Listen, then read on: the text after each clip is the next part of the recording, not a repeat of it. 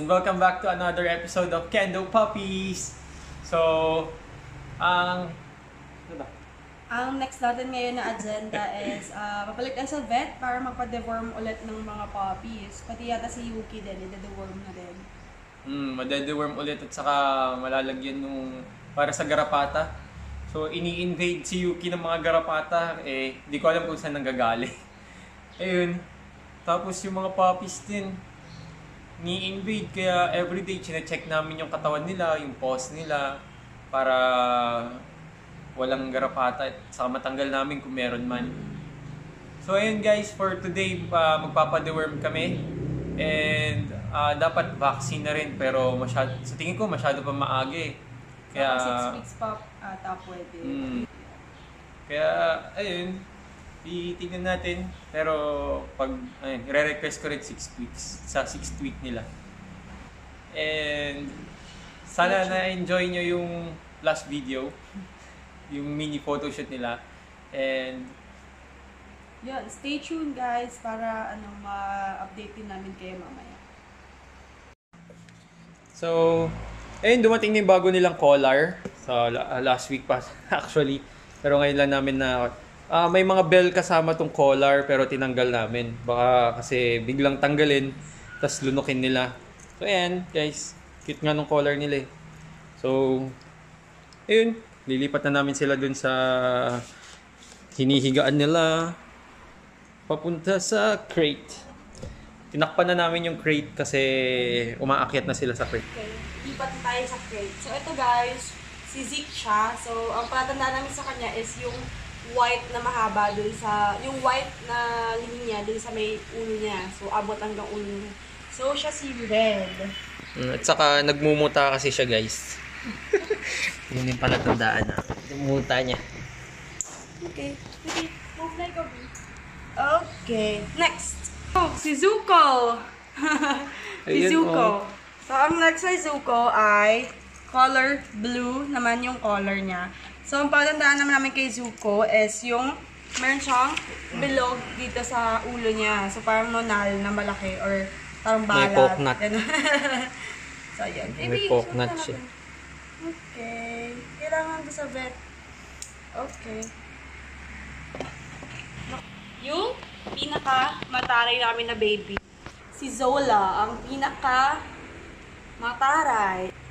So, since siya lang naman yung babae, color pink yung color niya.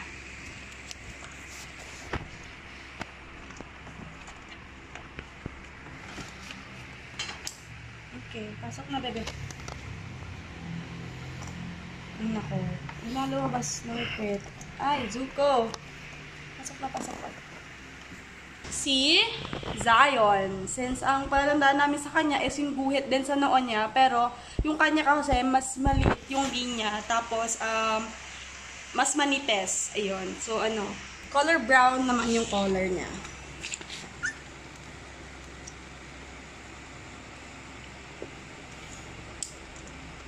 Okay. Move, guys. Okay.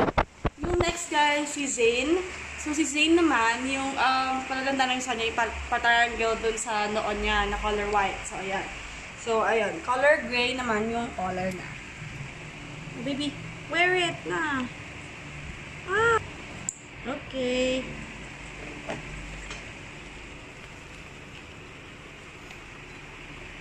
Move, move. Move na ikaw. Okay. And the last one is itong makulit na to na si Zeus. So, yun. Ang balita namin sa kanya yung parang pa... Kasi laki ng daliri yung color white dito. Ayun, parang pas, pa rectangle. So, color purple naman yung palatandaan namin na color sa kanya. So, ayun. Ayan, guys. Na-move na namin sila lahat sa crate. So, ready naman na sila to transport punta sa vet. No, Zola! Yan na ikaw. No, no, no, no.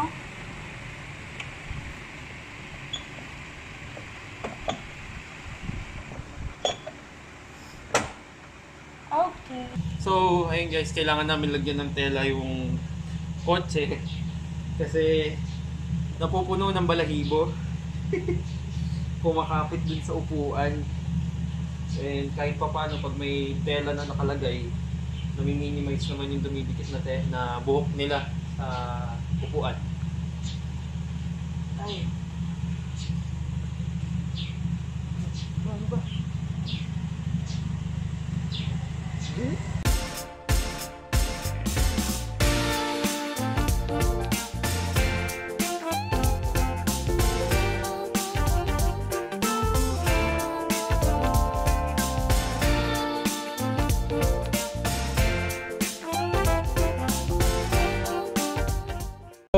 hi guys! So, nasa kotse na tayo and on the way na ulit tayo sa vet para sa second deworming nila. And para rin mapakonsult namin yung skin ni Yuki kasi dinadandruff and ang lakas makalagas ng balahibo. Although twice a week naman na siya naliligo, medyo nabawasan din naman. Pero para sure, papacheck na rin namin. So yun guys, see you sa vet! Nandito na ulit tayo sa BL Pet Shop kung saan sila magpapadeworm ulit. So, yun, papadeworm ulit, second deworm tapos request na lang sa vet nila na ah, sa 6th week nila yung bakuna kung pwede kasi baka masyado pa maaga pag 4th week. Although pwede naman na mas sigurado sa 6th So yun guys, so see you later and hopefully pagpayagan tayo mag video sa loob. Kahit yung mga puppies lang syempre bawal yung mga patients nila so ayun guys see you later Hey guys, so ayun, pauwi na kami. Tapos, tapos na rin naman yung deworming nung lahat ng puppies. Si Yuki naman, um, sa 30 pa naman siya i, um, i-vaccine ulit. Tapos, ah, balik ulit kami ng 30 para naman sa deworm ulit. Tapos, 5 in 1 naman ng mga puppies. Since ngayon kasi, hindi pa namin sila pina 5 in 1 para sa 6 tooth na lang nila. So, ayun. Um, tingnan mo si Yuki. Oh. Kulit oh.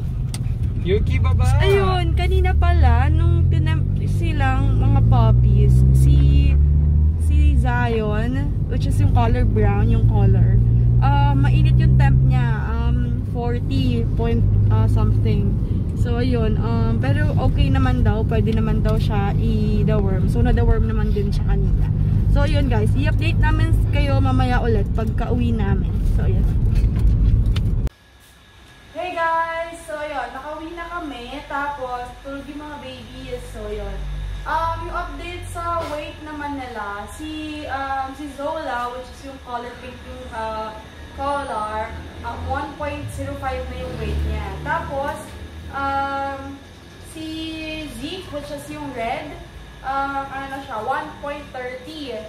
Tapos, si Zuko, which is yung blue, um, 1.15. Tapos, si Zion, si Zion yung pinakamabigat, 1.35. Yung kulay brown yung, um, yung color. Tapos, naman, si, si Zeus, yung color purple na na color, 1.15 din siya. Tapos, um, si Zane din, which is yung color gray, 1.15 din yung um, yung weight nila. So, ayun. Si Yuki naman, 11.4 yung weight niya. So, yung update naman kay Yuki, guys, ano, um, sa skin niya kasi nag-shed na siya, grabe yung shedding niya. Tapos, um, mayroong problem sa skin niya, grabe yung irritation sa skin. Um, siguro daw, um, hindi mo na siya bibigyan ng gamot na oral. So, uh, binigyan mo na kami ng reseta, which is yung shampoo, which is yung Mysocide shampoo. So, ayun. Yun muna yung pwedeng gamitin daw kay Yuki for um, 3 days for 3 weeks daw. Mo tingin. Uh, ayun. Use every 3 days for 3 weeks. So, 15 minutes before rinsing, kailangan naka-lather kay Yuki yung shampoo para tapos tingnan natin after 3 weeks kung Okay na yung skin. okay yung skin. Mm-mm. Tapos, ah, pinatuloy lang din ng doctor yung um, yung Enmalak para daw sa production ng milk ni Yuki. Tapos, ah, yung Papi OB pa din. Yun pa rin yung vitamins ni Yuki. Tapos, bumili kami ng bagong chew toy nila. Ayaw pa nilang nat natin. Yung wow, tulog. Ayaw nila yun eh. Mas gusto nila yung daliri lang eh. Hmm, Ayan, ah. Ah, cut, cut. Ah. So, ayun guys. Uh, May 30 pa yung next deworming nila. Tapos yung 5 in 1 na din. Sasabay na din daw. Tapos si Yuki din, yung ah, injection niya, yung yearly injections niya. So, ayun. Um, sabay na rin with the puppies. Ayun, storytelling muna. storytelling muna tayo. Ah, Ah, storytelling. Nung kailan ba yun? Ang Isang gabi, no? ah, yung isang Nung gabi. isang gabi, guys, tutulog kami. Tapos, ah, madaling araw na yun.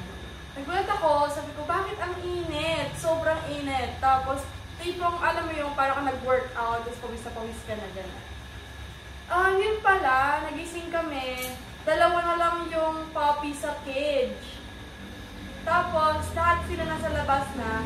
Tapos, etong Pruhilton na to, itong si Zola, ito, ito, ito. Etong maldita na to, si oh, si Zozo. Kulit. Mm-mm. Siya, nginat-ngat, ginangat-ngat niya yung ano ng electric fan. Tubuti na lang hindi nasira at hindi na hindi na balatan yung cord, yung ano wire ng electric fan. Kung hindi siguro makuryente na tong baby na to. Sobrang kulit eh. Hilig, ang hilig na nila magngat-ngat. Sobrang hilig. Kaya, Nakatulak nila yung ano, yung cage, kahit na may pa- pabigat na siya, natutulak pa rin nila. So, ayun. Hindi namin alam kung ano yung gagawin. eh, eh, tulog naman sila ngayon. Ito naman si Yuki, oh. Init na init. May init. Lakas nilang... Lakas nilang tumae. Tapos pag hindi naman nabantayan na pag tumae sila, eh, ginala mo yan. Mga loko-loko. Tapos pahirapan kami maglinis ng ah, sa kanila. Lilinisan namin gamit bulak. Bulak tsaka warm water. Since yun, bawal pa rin sila maligo kasi tinanong namin yung vet if kailan pwede paliguan yung mga puppies.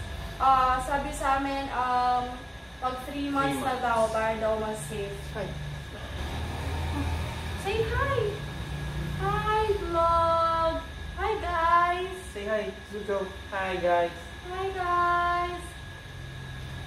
Tulog yung tatlo eh. Sino yung mag... Sino yung... Sino sa kanila yung... Hindi? Tinatago yung tableta kanina. Si Zola at saka si Zuko, ayaw nila kainin yung ano, yung sa deworming na tablet. So, nag-switch na lang yung doctor into liquid na lang na deworm. So, ayun. Tinatago nila sa gilid ng bunganga nila. Mga Ayaw yata nila ng tablet pa. So, yun. Ay, guys, nga pala, nakabili pala kami ng ano, na portable na blender para dun sa, ano nila, doon sa dog food nila since um, switch na rin namin. Um, unti-unti, switch na namin sila sa solid food. So, ayun, ang kailangan lang talaga um, blend, naka-blend yung uh, dog food dun sa gatas nila para ano, makain naman nila. Since ayun, wala pa naman sila masyadong ngipin. And then, uh, malambot pa din yung ngipin nila. So, yun, bumili muna kami ng portable na blender para magamit namin sa kanila. So... Yeah. Ito siya guys. Ito siya. Pol... Pol... Portable. Portable. Portable blender. Dalawa binili namin. Kasi yung isa sa amin, yung isa para sa kanila. So, ayun guys. Mabalis naman siya gamitin. So, yun pa lang. Ganyan. Malakas naman. So, feeling ko naman, sana to bagal to para magamit namin to sa mga dogs, sa mga babies. Since ayun, mag-switch na kami unti-unti into solid food. Para sa kanila, since medyo nagkukulang na rin yung gatas ni Yuki since ayun, parang umihina yung milk production niya and parang ah, hindi na din siya masyado nagpapadede. Parang ano, nagpapadede siya, ayaw niya na humiga, nakatayo na siya magpadede, ganon. So, ayun. Mag-switch na kami unti-unti into solid food. Pero so, ah, slowly naman ini-introduce na namin sa kanila kung paano kumain sa dog bowl. Para masanay na rin pag lumaki-laki. Saka pag nawalan ng gatas tong si Yuki, tong si Yuki, pag nawalan ng gatas, dun sila kakain. So, yun guys. Update na lang namin guys susunod. See you guys on our next vlog. Don't forget to like, share, subscribe, Subscribe. And hit that notification bell. Bye guys. Bye guys!